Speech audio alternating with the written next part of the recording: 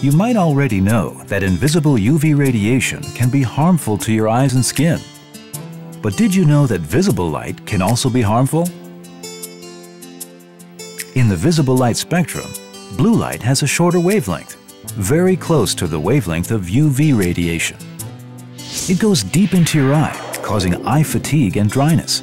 It may also lead to serious vision problems later. As technology is advancing, blue light is becoming a much greater threat to our eyes.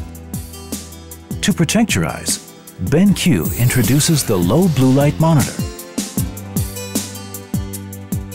The presence of blue light can be clearly seen when we place a blue film in front of the monitor.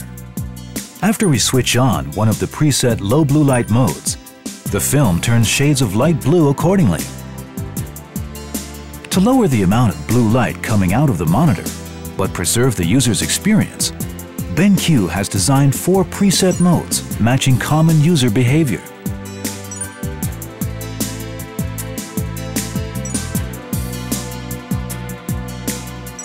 No matter if it's a couple of minutes or long hours in front of your monitor, BenQ's low blue light mode will keep your eyes comfortable and let you enjoy your digital amusements.